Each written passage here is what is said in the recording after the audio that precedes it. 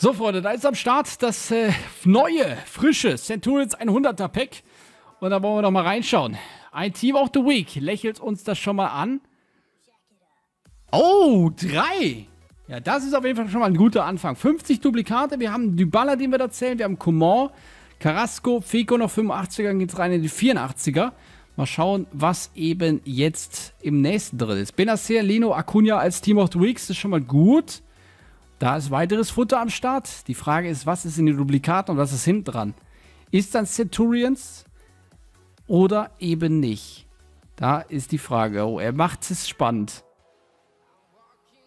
Okay, Quartes. Und hinten drin? Leider nichts mehr. Schade. Vorne ein bisschen Futter, nach hinten, naja. So, Freunde, also eben im ersten Pack haben die Team of the Weeks auf jeden Fall gerettet. Äh, und hier geht es auch direkt wieder mit dem Team of the Week los. Deutschland, Torwart und ein Leno. Das kann sein, dass wir eben deshalb wegen den Team of the Weeks, die uns hier angezeigt werden, High-Rated Goldkarten erstmal an sich haben. Und im, im glücklichen Fall natürlich hinten dann ein Centurion-Spieler, der sich eben hinten versteckt. Das wäre natürlich der Traum. So, was haben wir? Courtois, Alisson und Navas. Ciao, Cancelo. Oh mein Gott. Kulibali, Ruben Diaz, das ist auf... Oh mein Gott, und nur 21 Duplikate. Das ist doch schon mal ein guter Start. Das ist schon mal sehr okay. Jetzt bin ich gespannt, was hinten dran ist. Also 83er ein paar, 81er. Klar, hier die ganzen äh, Goldkarten, die silbernen, die noch kommen. Und nur 21 Duplikate? Da muss entweder dein Verein sehr, sehr leer sein. Perfekt. Iago Asper ist auch noch dran. Da ist Leno.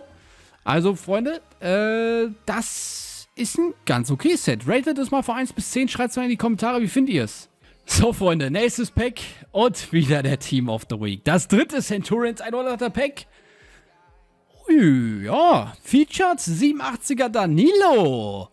Sympathisch. Aber wieder ein Rumdias.